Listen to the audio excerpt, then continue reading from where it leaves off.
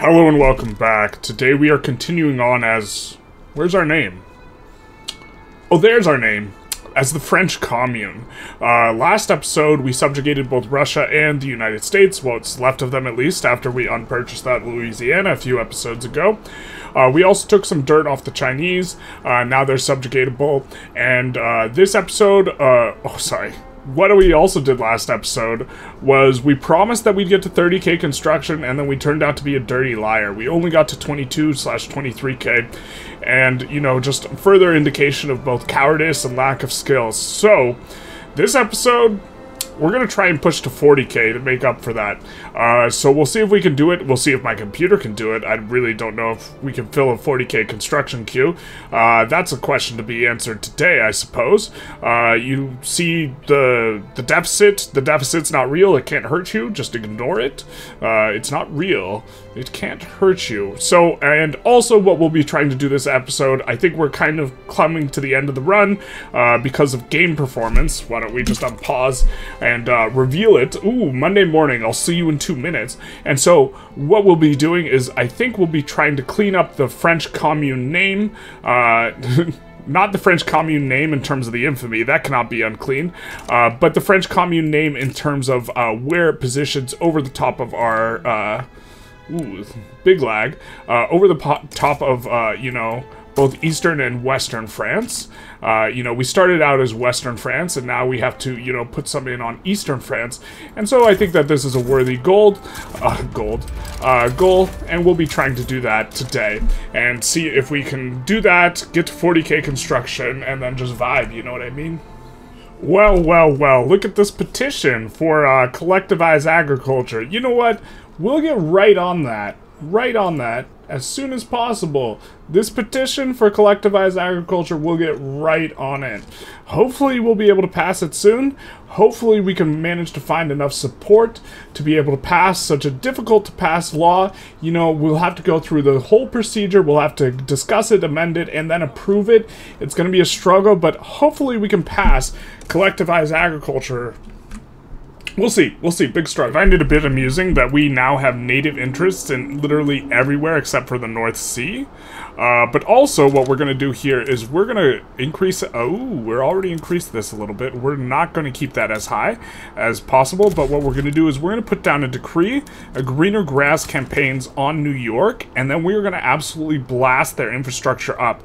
And the reason being is we really want to drive an enormous amount of migration to New York because they have this 20% output on electricity, and uh, this is kind of the the throttle that is currently bricking us right now, and so we're going to look to get that as high as possible. Now, maybe we shouldn't even incorporate, so if we don't incorporate, we will get the extra throughput here, um, but I think we'll just I think we will incorporate, but it's worth noting that we are going to lose out on throughput from colonial exploitation as we do incorporate, but we will win in terms of a ton of taxes that we get off these pops here in New York uh, that we are going to do this. So what we're going to do is we're just going to absolutely, we're going to delete all the farms when we can, and we're going to absolutely blast, uh, you know, railways, which we already are in the queue. Uh, but this on top of greener grass campaigns will help more uh, people get here. What do you know? We were able to get it through. That's crazy. That's so wild. Hope I'm so happy we were able to, you know, do the petition. And so what we will do is we will get extra loyalists and legitimacy. Wow, that was big nice. Um, was a little bit of a scare, but somehow we managed to do it. So uh, I think we're pretty set in terms of the laws we want overall. Um, we completed the petition. Wow. Um, you know, I don't think we need any major changes. We might change a few things here or there, but collectivized agriculture is probably uh, towards the end of like what we want to be doing. I suppose we could mess around with workers' protections, uh, but that would be a lot of stimulus. I don't know if uh, that would nuke the economy or not. I mean, there is no other economy, so it's not like other people can dump into our market because other people don't really make goods. This is just all us. And so we'll see what we can do. Uh, but yeah, just continuing on, uh, the war hasn't popped with them yet. They are unlikely to back down because they just never back down uh, in this situation. So we'll just annex them in force and continue to go roll through the German, sorry, the Eastern French minors uh, in order to get a better looking French border. The French commune dream. I too dream of a French commune It can't be that harming. A French commune in South Dakota. Really, that's when I dream. These are my dreams. Now, whether they're nightmares or, you know, pleasant dreams, that remains to be said. But the French commune in South Dakota, it really is the American dream, isn't it? It's just not as American as you thought. It's more baguettes and centaurs. This is absolutely outstanding. Let's move this here so we can see that in our election, the single party state did in fact get all of the votes. 100% of the votes went to the single party. That makes a lot of sense. Uh, so we should be hyper, hyper legitimate now. I think this is our first election following, and I believe we can put these guys in government, yeah, and still be righteous. We don't really want the armed forces clout to uh, disappear. We're trying to get the petite bourgeoisie back up, um, but currently we would actually prefer the trade unionist clout to be a little bit lower, and so maybe one of the drawbacks here of the single party state is it makes it difficult for you to preserve the clout of groups that are not a part of the party, um, which is a bit interesting. Uh, you know, these industrialists are right on the cusp of decaying down into insignificance, which is nice because then we won't be getting um, this malice.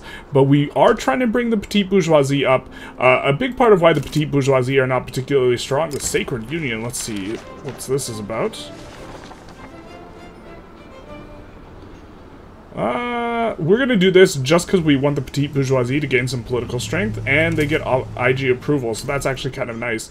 Um, but uh, the big reason why the petite bourgeoisie is not particularly powerful is the petite bourgeoisie, uh, in order to gain membership, or I think uh, one of the weightings towards membership is you have to be the primary culture pop. And if we click the pop button, of course, we implode the game uh, currently. But what we are going to see when we click the pop button is a huge chunk of our... a huge chunk of our uh, pops... Ugh. Oh, geez, we meant to click the culture button. Even worse. Now the game implodes yet again. Okay. Uh, if we sort by, uh, you know, population, we will see that most of our, or the, our most uh, common pop isn't even French. Um, and so this makes it, uh, you know, when you are incorporating a whole bunch of, and conquering a whole bunch, this makes it hard for the petite bourgeoisie uh, to become big because only the French are eligible to become petite bourgeoisie. And so this is presenting difficulties, but we would like to get them up and going uh, and also happy with us. Right now, they're not happy with us, but we would really like to get both the bureaucracy uh, bump and the loan interest rate bump. So we'll see. We might go authoritarian, regressive, just to make them happy and do this sort of thing if we can. Oh baby, we did it here. Look, we got the nice French commune name right over France, right smack dab in the middle of France. We got Western France and then Eastern France. And so now we have just kind of a lot of options regarding like what we want to do next. We might just be like annexing the biggest boyos. Um, this is generally a pretty good approach, uh, but we'll find a war, we'll declare it, and we'll continue on. Um, we could do the Veiled, oh no, we probably failed the Veiled Protectorate. Well, we have 24 months. We could just like puppet them just to get it, uh, which is a bit of a meme because it doesn't really do anything substantive. Or we could try and find, I mean, the British have been having this revolt for forever. We could probably Dow on the British? Why can't we Dow at all? Why can't we Dow the British? I'm a little confused here. Okay, we can Dow the British. We just had to declare neutrality in their war, um, and we would get uh, be able to go after Br uh, Brunei, Sierra Leone, and Benin as well, just trying to annex those boyos. Maybe that's the best war. We'll try and figure one out, uh, but it's probably that. In a way, this war is really a bit of an apology because, you know, we removed all the tea from their market and now we're saying, hey, you know what?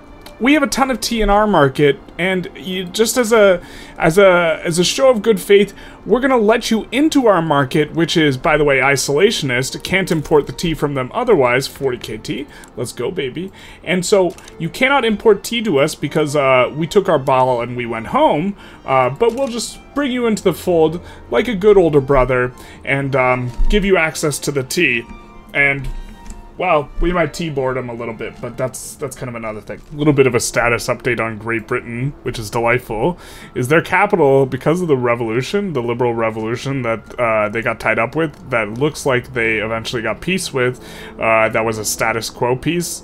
Um, because of that, uh, their capital is in Northern Ireland, which is pure delight. Uh, who knew the capital of Great Britain would, of course, be in Northern Ireland, a very non-contentious place about being in the UK. Would you look at that migration attraction in New York, the number of the beast in terms of unemployed, but we have migration attraction of 128. We're getting teeming shore, we're getting the Statue of Liberty, uh, we're getting great power, we're getting greener grass campaigns, and then base 26 standard of living, unused arable land from 20, it could be up to 25, and available employment 10. So we are just blasting every year 500 uh, thousand new pops into here, which is going to help facilitate, uh, you know, fully employing these electrical places, which electricity is kind of like the one thing we have expensive. We've been holding back a little, expanding it all over the place, but we're going to in particular look to build in New York. If we are trying to be super efficient, we also probably would go steam turbine instead of trying to meme up, you know, 50k construction or however much I promised at the start of this video um, because this would be a lot better and the constructions stop being useful and man oh man does it make the game lag. Uh, but overall you know that's that's that's the way things go. Uh, a university in Nebraska sure why not? Uh, let's go Cornhuskers. So we grab peace, or we proposing peace, and after Great Britain accepts, finally, finally, they can drink tears, or tea, whichever they prefer, but they are now a subject of ours. Uh, I don't think we can declare war on the British Liberal Revolt until after we've annexed Great Britain, which is uh, kind of a weird thing. Uh, but this episode, we went after Great Britain. We did up construction a little bit, uh, getting a little sticky, uh, having trouble kind of with this sort of thing. Uh, this might be the last episode we play because it is starting to move real slow. It's not even 1900 yet. you know, we have the back third of the game left, but I also don't blame the game because we have 27k construction here. and 4 Billy GDP, uh, you know, missing out on a, a, ton of key technologies for, like, making stuff feel good, but, um, you know, if it doesn't, yeah, it just feels bad. So let's just quickly look at this. Um, uh, you know, we have prestige of 25k, GDP of 4 bill. Uh, the next one is Great Qing, who is, by the way, not a major power. Uh, so they are puppetable. If uh, we didn't have a truce with them, we could puppet them. We have pretty high standard of living, not the highest, and a population of nearly a billion. Um, we could quickly, you know, integrate uh, Japan and like this sort of thing. Maybe that's kind of the direction things could, should go. Um, if this episode or this, this is the end of the the run than it is. Um, we could clean this up a little bit, but I think we've uh, very firmly planted, you know, our flag in both Eastern, or sorry, Eastern and Western France, uh, you know, as, uh, what's his name, Charlemagne intended. Uh, we unpurchased the Louisiana, and uh, we took all the tea out of the British market and then very graciously allowed them into our market. I hope you enjoyed. Feel free to like, comment, subscribe, and other than that, have a good day.